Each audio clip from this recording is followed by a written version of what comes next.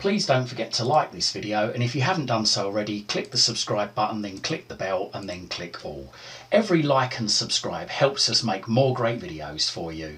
So this video shows you how you can print from Thunderbird but actually lose the header on there. I know some people find that if an email's been forwarded to many, many people, then you're going to have a lot of people's email addresses at the top and it's going to shift the whole sort of content of the email further down the page. So how in Thunderbird do you get rid of the header at the top of the email when trying to print it. So what we need to do is we need to download and install an add-on. Now thankfully that is quite easy in Thunderbird to do. So all you do is click on these three horizontal lines just on the right hand side then click on add-ons and then up here in search add-ons thunderbird.net click into there and just type in there print and then click on the magnifying glass.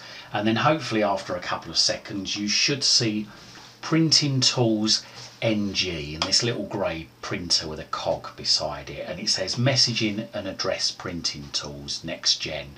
Move your mouse over add to Thunderbird left click once. Then move your mouse over this add up here in blue left click once.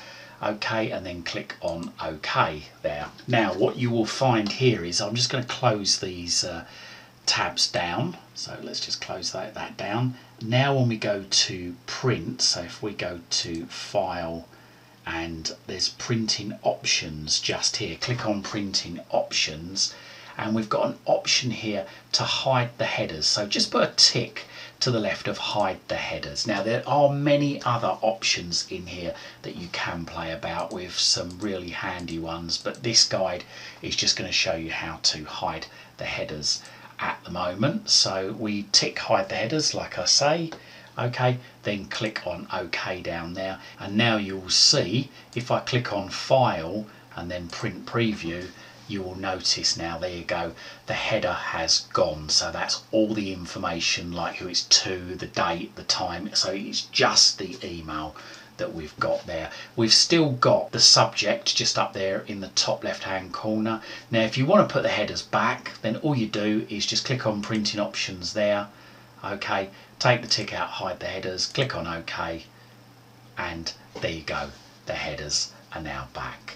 Now it does remember the setting for any future print so whatever you leave it on as that will stay. And if you want to get rid of the, uh, the printing tools off of the system, the add-on, just again, click on the three horizontal lines just in the top right hand corner, then go down to add-ons, click that, and then click on extensions just there, and there's printing tools there. Now, if you don't want to get rid of it and just want to turn it off, then you can just click on that switch there and that turns it off. If you want to turn it back on, just click on it again. But if you do want to remove it, click on the three dots there and then click on remove and then click on the cross just up there. So there you go, a great little add-on to Thunderbird which stops the headers from being printed. Hope this guide helps and thank you very much for watching. You can follow me on Twitter at CWTech. That's at CWTech on Twitter. And don't forget to check out my other videos in my YouTube channel. Just Google Chris Waite YouTube. And don't forget to like and subscribe to my YouTube channel. Thank you for your support.